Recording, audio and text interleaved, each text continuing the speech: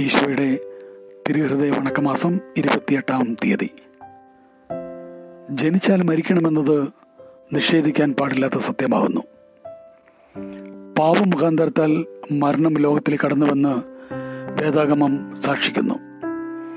പരമസൃഷ്ടാവായ ദൈവം ആദിപിതാകന്മാരായ ആദത്തെയും ഹവയും സൃഷ്ടിച്ച് പർദീസായിൽ അവർക്ക് ലൗകികമായ സകല സൗഭാഗ്യങ്ങളും നൽകി. എന്നാൽ വിലക്കപ്പെട്ട കന്യെ ഭക്ഷിച്ച ഉടനെ നിങ്ങൾ മരിക്കും എന്നായിരുന്നു ദൈവം അവരോട് കൽപ്പിച്ചത്. ഈ ആദിപിതാക്കന്മാർ മനുഷ്യവർഗത്തിന്റെ പ്രതിനിധികളായിരുന്നതിനാൽ അവർക്കുണ്ടായ ശിക്ഷ അന്നു മുതൽ ഉണ്ടാവാനിരിക്കുന്ന സകല മനുഷ്യനും വ്യാപിപ്പാൻ ഇടയായി. ചിലർ ദീർഘകാലം ജീവിച്ചും ചിലർ യവനപ്രായത്തിലും മറ്റു ചിലർ ശിശുപ്രായത്തിലും. എങ്ങനെയും മരിക്കാതെ നിവർത്തിയില്ല ഈ സത്യം ലോകാരംഭം മുതൽ ഇന്ന് വരെയുള്ള സംഭവങ്ങൾ കൊണ്ട് ബോധ്യപ്പെടാവുന്നതാണ്. ഭാഗ്യം അല്ലെങ്കിൽ ദുർഭാഗ്യം എന്നിവയുടെ ആരംഭം ഭാഗ്യമായ അഥവാ നിർഭാഗ്യമായ ഒരു മരണത്തിന്റെ ഫലമാകുന്നു. എന്നാൽ ഈ മരണം വാർദ്ധക്യത്തിലോ യവനപ്രായത്തിലോ സ്വഭവനത്തിൽ വെച്ചോ അന്യസ്ഥലങ്ങളിൽ വെച്ചോ ദൈവവരപ്രസാദ സ്ഥിതിയിലോ പാപത്താൽ അശുദ്ധമായിരിക്കുമ്പോഴോ എപ്പോഴൊന്നും എവിടെ വെച്ചെന്നും കണ്ടുപിടിക്കാൻ മനുഷ്യർക്ക് സാധ്യമല്ല.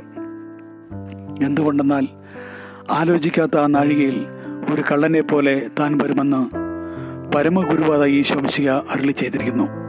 ആകയാൽ നിന്റെ മരണത്തിന്റെ നാഴിക അറിയുന്നയാൾ സത്യദേയമായ ഈശോംശിയാകുന്നു അവിടുന്ന് ഇതിനെ വെളിപ്പെടുത്തിയില്ലായിരുന്നെങ്കിൽ യാതൊരു സൃഷ്ടികൾക്കും കണ്ടുപിടിക്കുവാനും അറിയുവാനും ഒരിക്കലും കഴിയുകയില്ല.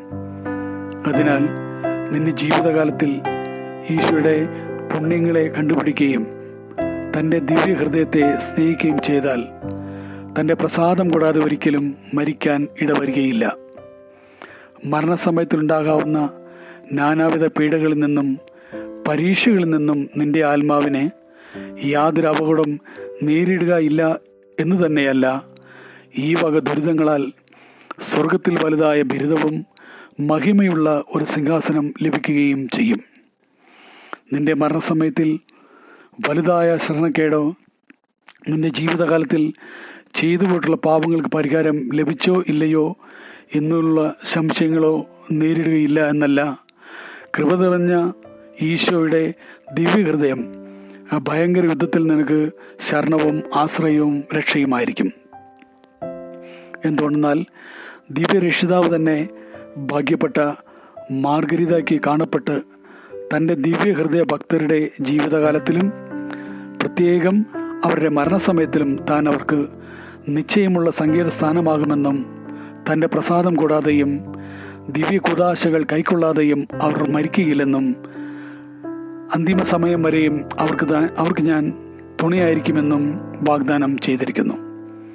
ഹാ എന്റെ ആത്മാവെ നിന്റെ സകല പീഡകളിലും വിഷമതകളിലും നിന്നെ സഹായിപ്പാൻ ശേഷിയുള്ള ഒരു സ്നേഹിതനെ ലഭിച്ചാൽ അയാളുടെ സ്നേഹബന്ധത്തിൽ നീ മാറാതിരിപ്പാൻ എത്രമാത്രം ശ്രദ്ധാലുവായിരിക്കും. നിന്റെ സർവവ്യാധികളെയും രോഗങ്ങളെയും കൃത്യമായി തിരിച്ചറിഞ്ഞ് മരണത്തിൽ നിന്ന് രക്ഷിപ്പാൻ പ്രാപ്തിയുള്ള ഒരു വൈദ്യനെ നീ എത്രമാത്രം ബഹുമാനിക്കുകയും എത്രമാത്രം ധനവ്യായം ചെയ്ത് അയാളുടെ പ്രീതി സമ്പാദിക്കുകയും അയാളിൽ ആശ്രയിക്കുകയും ചെയ്യുമായിരുന്നു.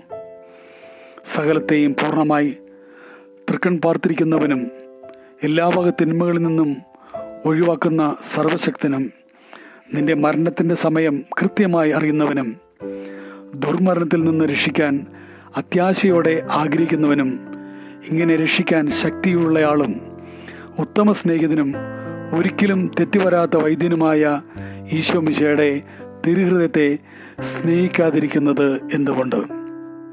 സർവ നന്മകളും അടങ്ങിയിരിക്കുന്ന ഈ ദിവ്യഹൃദയ സ്നേഹിച്ച് സേവിക്കാതിരിക്കുന്നതിനാൽ നിനക്ക് നഷ്ടീഭവിക്കാനിരിക്കുന്ന ഭാഗ്യത്തെപ്പറ്റി നീ ആലോചിക്കുന്നില്ലല്ലോ. ദുർഭാഗ്യത്തിൽ നിന്നും നിത്യമരണത്തിൽ നിന്നും രക്ഷപ്രാപിക്കാൻ ആഗ്രഹിക്കുന്നുവെങ്കിൽ സമയമുള്ളപ്പോൾ തന്നെ കൃപ നിറഞ്ഞ ഈശോയുടെ ദിവ്യഹൃദയത്തിൽ നീ അഭയം പ്രാപിച്ചുകൊള്ളുക. സുഹൃത ജപം മരണാവസ്ഥയിൽ ഉൾപ്പെട്ട ഈശോയുടെ ദിവ്യഹൃദയമേ മരിക്കുന്നവരുടെ മേൽ ദയായിരിക്കണമേ